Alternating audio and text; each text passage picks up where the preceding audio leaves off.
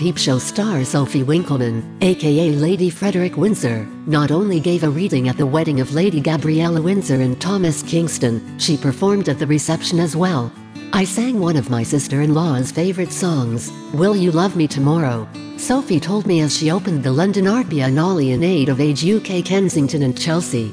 There were a few tears but I'm not sure if it was because they were moved or wanted me to stop. Her daughters, Maud, 5, and 3-year-old Isabella, also played a part in the happy couple's big day as bridesmaids. It's nerve-wracking being the mother of bridesmaids, because you have no clue what they are going to feel like doing while they are walking up the aisle. So while I enjoyed every minute of my sister-in-law's day, I was incredibly relieved as a mother that it's all over.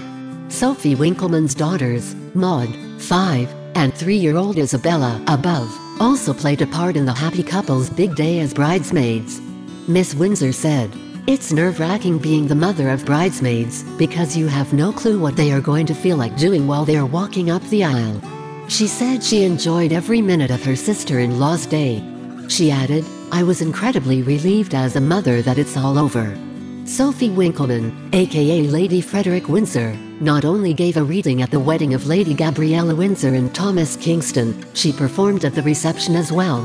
They are pictured at St. George's Chapel. I sang one of my sister-in-law's favorite songs, Will You Love Me Tomorrow? Sophie told me as she opened the London Art Biennale in aid of Age UK Kensington and Chelsea.